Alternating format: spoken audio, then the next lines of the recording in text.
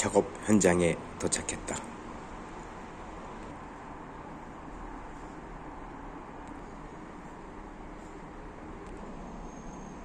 오수산하다.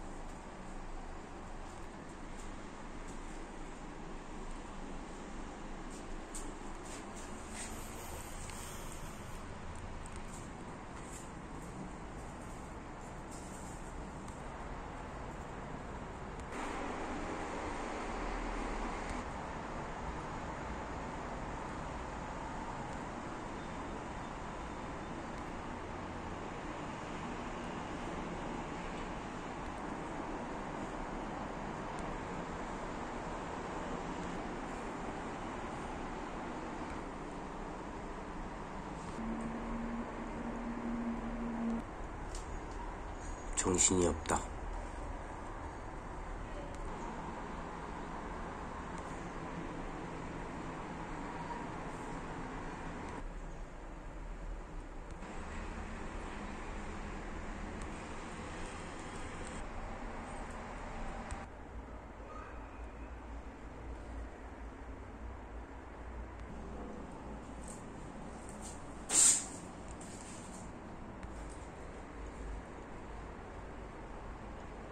정리를 안 하고 막 늘어났다.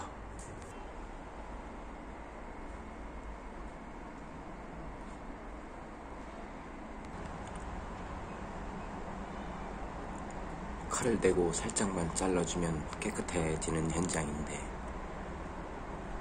나 몰라라 정신이 상당히 강하다.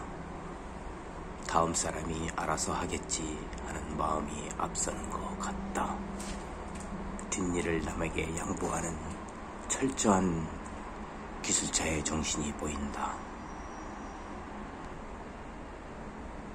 이렇게 되면 다음에 오는 도배가 좋아할 것이다. 오, 할 일이 들었다. 한 품을 더 추가해야겠는데요. 아니면 반품을 더 추가해야겠는데요. 하고 인테리어 공사 업체 사장하고 싸울 수가 있다.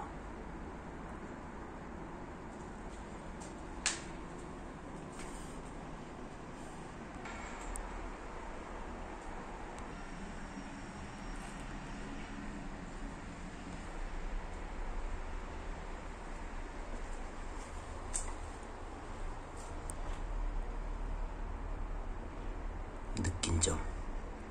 나는 작업을 깨끗하게 해야겠다.